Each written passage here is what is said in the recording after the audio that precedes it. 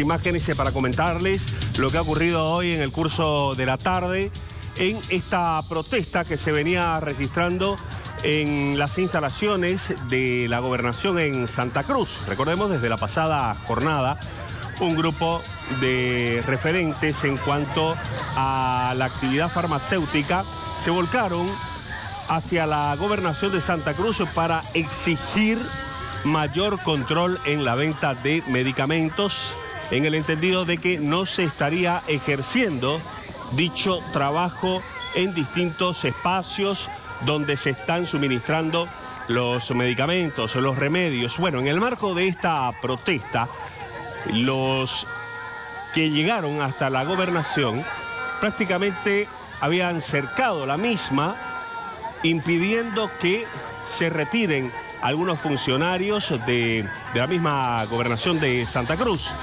Hoy finalmente se dieron y en ese sentido se permitía que estos funcionarios se puedan salir de las instalaciones. Y en ese tire y afloje, en el marco de esa situación, es que se registra algunos incidentes, una avalancha humana ahí en las puertas de la gobernación de Santa Cruz que derivó a esto que ven en imágenes.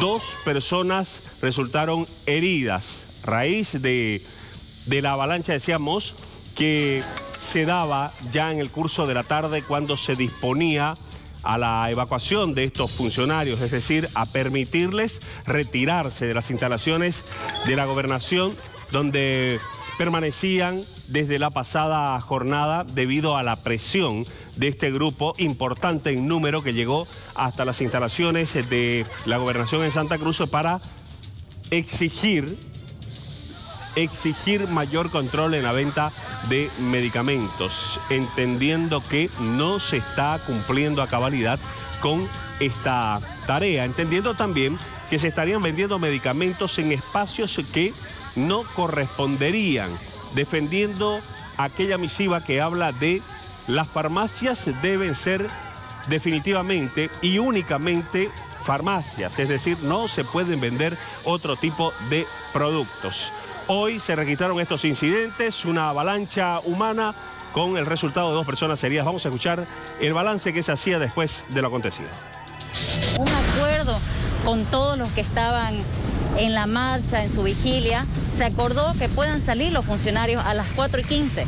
Lamentablemente, al ver a todos los funcionarios, ellos eh, se pusieron enfrente, no dejaban que salgan los funcionarios y empezaron a los golpes. Fue un hecho lamentable lo sucedido hoy día. Es más, tenemos personas que han sido llevadas en ambulancia.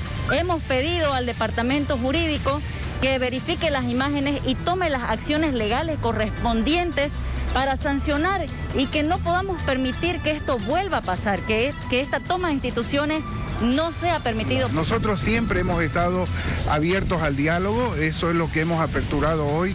Vamos a atender todas sus demandas, pero en el marco del cumplimiento de, la normativa, en el marco del cumplimiento de la ley.